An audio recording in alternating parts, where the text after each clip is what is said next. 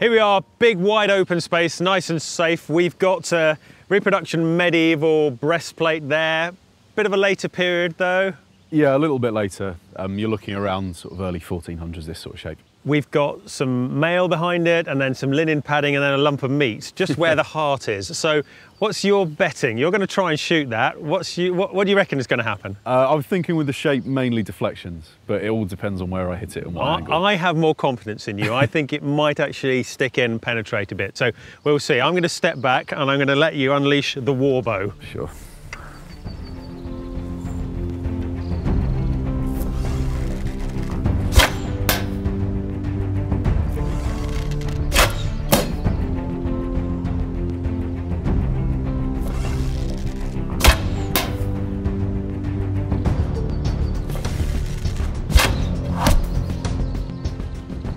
Reckon that did more damage than you thought. Look, look at that. Wow. It certainly punched through. So you got him in the armpit here, which is pretty nasty. The, you know, we skipped off here.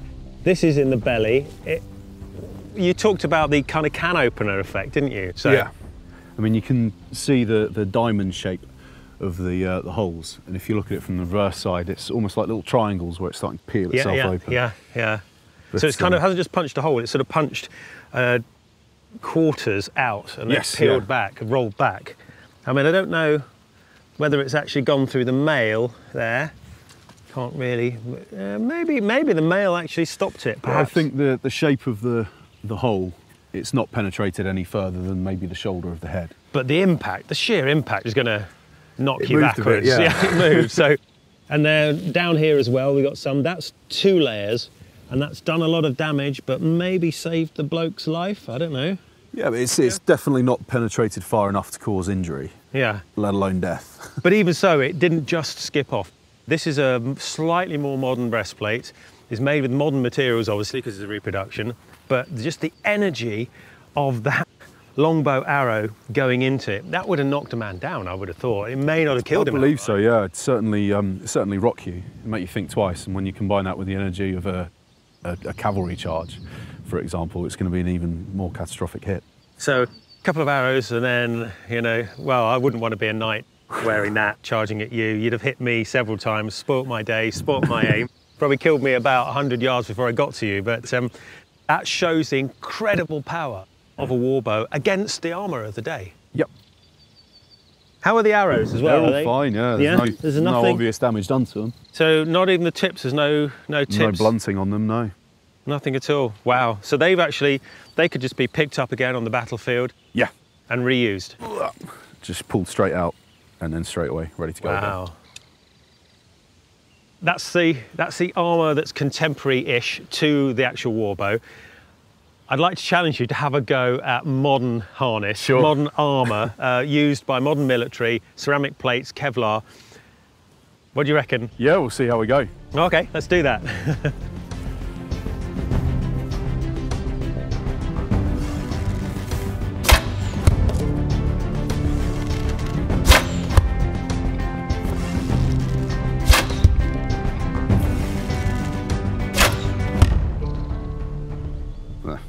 Right, you're going to have a look.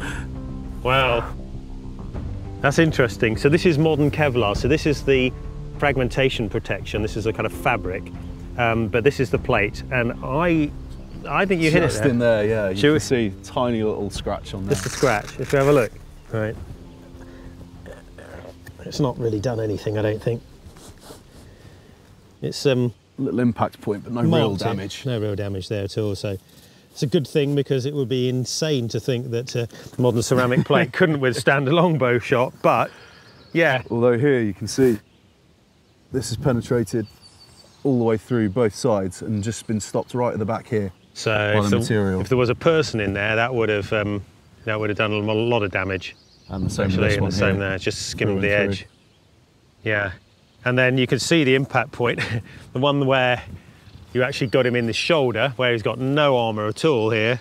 It's gone all the way through and straight out the back by quite a substantial margin. Can see And- what the uh, ceramic plate's done to the head. Oh, it's actually, it's completely, It's not only completely flattened the front of the head where it stopped it dead, but uh, it's broken the haft. So all that energy has gone into deforming the head and then And breaking then the wood. Breaking up the wood, yeah. And as you said, the tail of the arrow follows and pushes it through. And Exactly. It comes through in a sort of snaking motion as it tries to get in. So as it's found no real purchase first, it's been stopped dead, and then it's just concertinaed itself in. You can see how it's moved it completely to the side on the arrow. yeah, You can see how that's shifted down. yeah, brilliant. So we know that up to a point, modern ceramic plate protects you from longbow arrows. But now let's reverse things. Let's go indoors into a shooting range and let's see what modern weapons do against medieval armour as well as modern armour.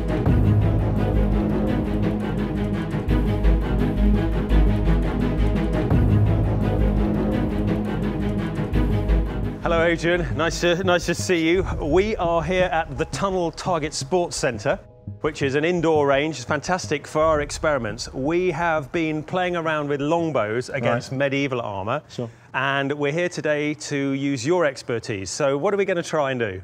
Well, on our 100 metre indoor range, you've got a couple of targets that you're setting up. One of them is a set of medieval armour. Right, and we don't think that's going to withstand bullets. We don't think that's going to stop modern rifle bullets, no.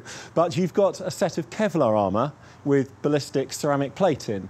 And that's maybe the equivalent of medieval armour against medieval weapons. So we're going to see if that will stop modern rifle bullets for you. Obviously, that armour is designed for that particular threat. Medieval armour is designed for medieval threats. Yep. This is modern rifles against modern armour. So. right. I've just got to hit the target, though. Ah, I you guess have I indeed. haven't hit the I'm target. so sure you'll be fine. let's see how we go and do. Okay.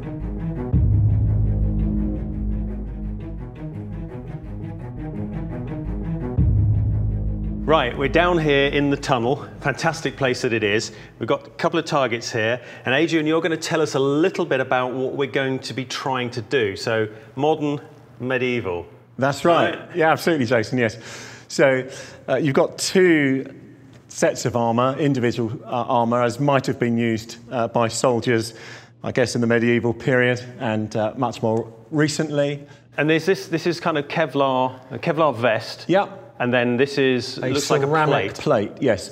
So within this part of the cover, there's a succession of layers of Kevlar, Right. specially interwoven to provide resistance for ballistic strikes. So the idea of armour isn't to immediately stop the, the thing, it's to slow the threat down and try Yep. and absorb some of the energy from it, which is exactly what the medieval Sure. layers do. Right. And seems very similar to the Okay. modern. Yeah, and then where this might be a little different is that if you're expecting a particularly powerful round to be fired at you, a particularly powerful bullet to be fired, and you're able to take protective measures against that, you might insert what's in here a, a rigid ceramic plate that'll be proof against much more powerful rounds. But the because the payoff is the ceramic plate is really heavy. It's dense, Yes, yeah, and that is yeah, trying to do that is trying to stop things more or less straight away. Right. Although it still deforms, but it's a much denser material, therefore a lot heavier. So if you built the whole vest out of the ceramic plate,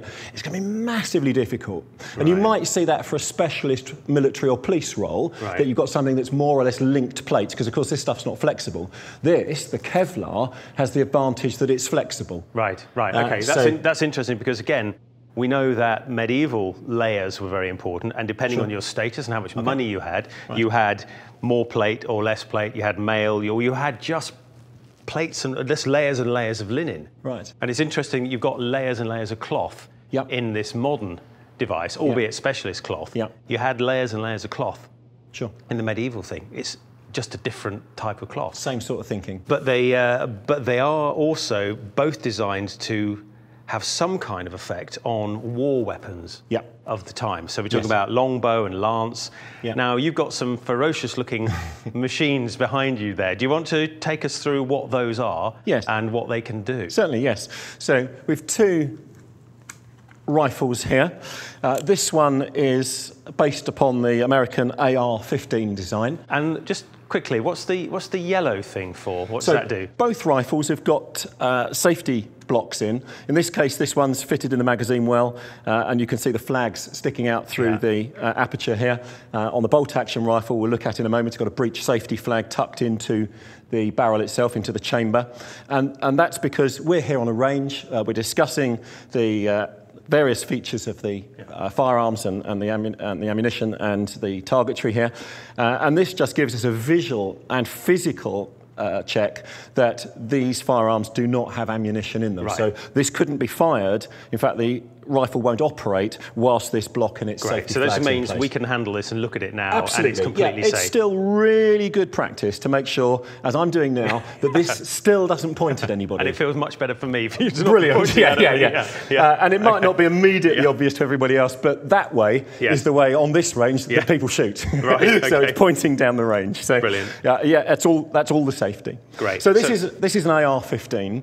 Uh, this is very similar to a large number of American and some British service rifles in use by military forces and Right. police, law enforcement forces. This specific rifle is designed for the civilian shooting market here in the United Kingdom, and that means that although it has a similar operating system, actually it has to be loaded between each shot. So there's an operating mechanism to load each round. It doesn't Right. self-load. Because of our gun laws That's uh, right, in a particular, That's yeah, right, particular yeah. configuration.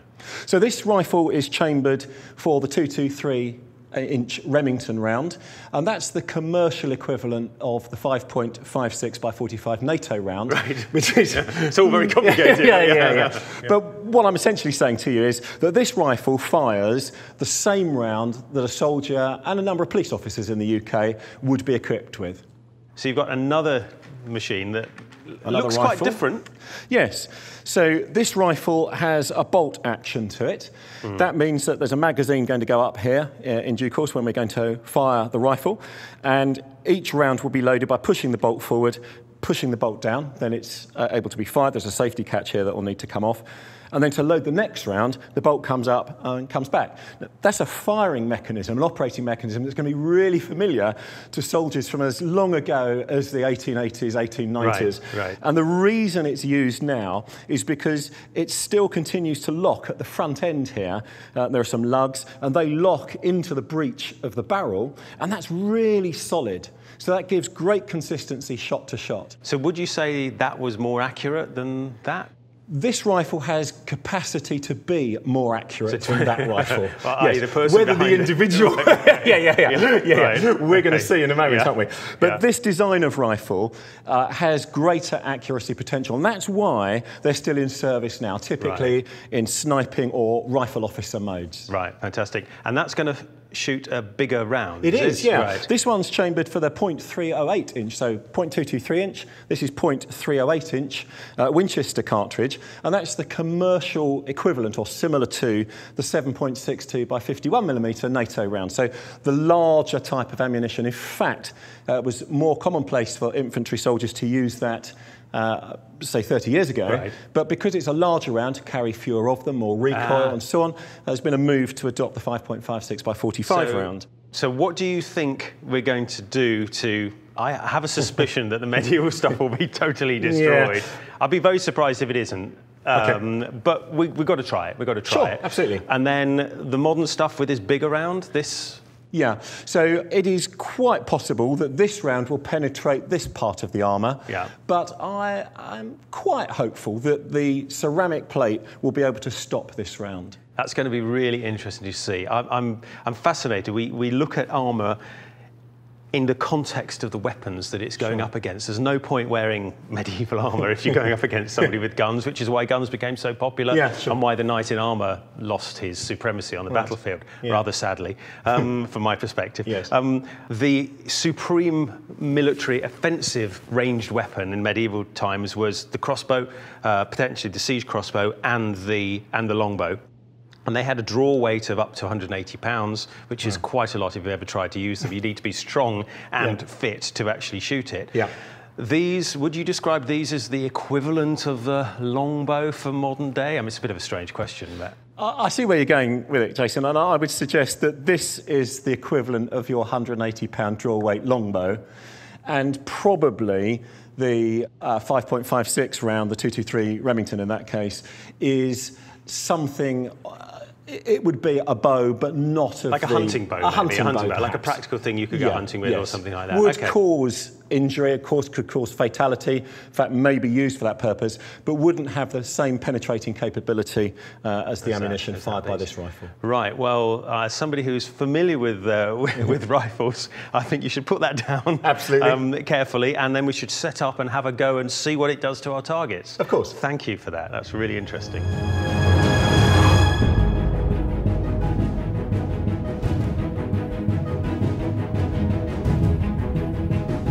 The range is clear.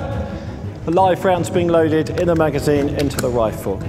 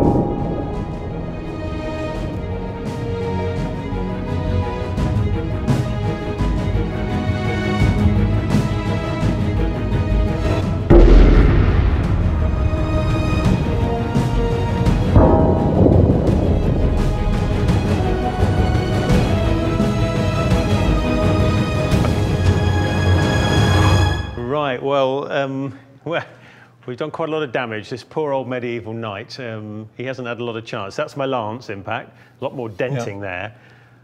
What's that one then? That's the 5.56, the 223 Remington. That was your first round, so that's gone straight in. In fact, you can see some of the debris of the bullet jacket. Ah, yeah. So yeah. the lead core's gone through, but the jacket has some of the jacket scraped off as it's cut through the. Yeah, and it's just armour. there's a Yeah. there's a bit of flaring on the inside there, and it's Right. gone straight through the mail. Yes, you can see some of the disrupted rings actually Uh, Yeah. inside. Yeah. And then this is the larger round. That's right. The .38 Winchester, the equivalent of the 7.62 2 by 51 NATO round. Yeah, and that's.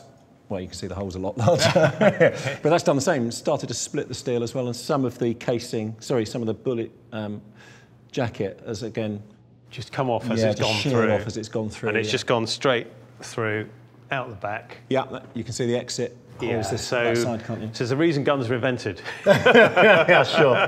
yeah. So I think um, let's compare it to some of the modern stuff. Because So, there's a reason why there's a ceramic plate as well. well, what's interesting though, this is steel and it's punched holes. Yep. But if you took that off a dead body and Yeah. kind of put a bit of patch over it, Yeah. it would still work as a steel breastplate Yeah, for of you. it, The yeah, rest of okay, it, you know, yeah. you wouldn't want to get shot in the same place again. Okay, sure. Um, but that's interesting. So Yes. So that's the ceramic plate that we looked at a while back, and that's a strike from the 5.56 millimeter round. So that's the that's the equivalent of that round. That's there. exactly right, yeah. And uh, you can see actually on the reverse of it, although there's no exit of a projectile, actually there's a huge bulge there. Yeah. So you would get a traumatic injury from that, but the entire round has been contained within the ceramic plate, although the little bits of ceramic material are now shattered. Yeah, and you're getting Yeah. them to fall out on your Yeah. hands. So, Yeah. So that plate would take separate strikes, but not in the same place. It's disintegrated now. Yeah, it can't so- function. Yeah, so I suppose it's got a hole in it, and the other places would, Yeah. as you said, take the impact. And this Yeah. was the Kevlar as well. So Yep. So this was the larger round, wasn't it? Uh, yeah, this, This- strike here on that yeah. ballistic plate. Yeah, you might want to take that out and let's just Shall see we? what's happened to the plate. It's a bit okay. Gruesome. All right, do you want to grab that? Yeah, That's it. sure. So that's the larger round, slightly larger hole, isn't it? Yeah, Yeah. We turn Quite it pleased with my shooting as Yeah, well. done We well. we, Yeah, we hit the target, shot. not too Good bad. good shooting. But look at that. Yeah, look at the size of that deformation. Now, we were expecting uh, potential penetration of the bullet through the back of this. We haven't quite got that, but when you compare, yeah, you see the ceramic coming out. When you compare the two, look at the difference in that. That. Yeah, is a significant trauma wound. It's, it's almost gone through, hasn't it? Yeah, basically? absolutely, It feels, it feels absolutely, like, yeah, yeah. And so would that have shattered more of the? Yeah, suppose more of that ceramic. plate? That ceramic plate is now disrupted. Uh, Yeah. It's not going to be able to function properly. It's done its job. It's Yeah. done its job really well, actually, Yeah, isn't it? yeah, yeah, it But, has, Um, that's it now. It, that's over with. So. So you'd need to, well, you need to replace, you Yeah. need to replace all of that. Yeah, and you may just well. recall that, of course, you fired a round deliberately over here. Yes. Um, good shot again. Thank you. Thank well you. done. Thank you. yeah, yeah, yeah. Thanks for the nice shooting. Yeah, no, thanks Making for the, the rifles look good. yeah. Um, so that's gone straight through the Kevlar, as we thought it might, straight through this side, Oh yeah. straight in the back, and straight out there. Right, with the tufting of so as it's slowed down, it's pulling, pulling material. That's through. right, and we know it came out Yeah. because it punched a hole uh, in the screening at the back before it hit the butt. So basically, our hypothesis that bullets go through medieval knights' armour is absolutely proven. Sure, yeah. that's really not much hope. But modern armour does its job pretty Yeah, well. The, the Kevlar's not designed to stop the bullet, as we discussed earlier. Um, it'll have slowed it down, of course. It's beginning to do its job. A lot of Kevlar would eventually stop it. The plates do that job, uh, and they've, they've done it. They've, they've I'm, hung I'm, well. I'm quite impressed. So well done, modern technology.